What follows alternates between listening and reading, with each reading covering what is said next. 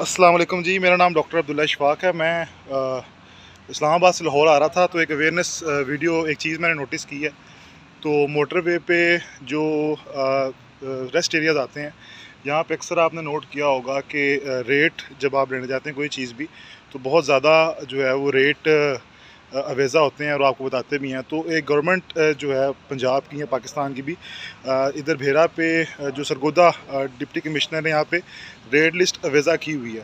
اس کے مطابق جو پرائس ہے، اکثر قیمتوں کی اس پہ لکھی ہوتی ہے، اس سے پانچ روپے یا دس روپے زیادہ یہ لے سکتے ہیں۔